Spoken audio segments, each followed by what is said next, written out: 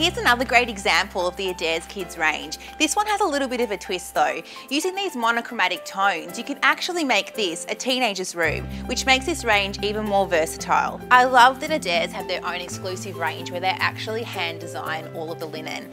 My favourite would be this little grizzly bear. They've got so much personality and I love the pops of colour. This hand painted doona cover is actually reversible, so if you want to change up the look season to season, it's really easy to do. One of my other favourite items in this range would have to be the LED battery operated lights. They just give a little bit more personality, a little bit of fun to the space, and they come in really cool shapes and sizes. The wall decals are a great option for really completing the room. They're easy to apply, but just as easy to remove. It's really great that Adairs have an exclusive range that you're not going to see anywhere else. This Wild Thing theme is really, really versatile. There are no limits. It's so good for a kid with a sense of adventure.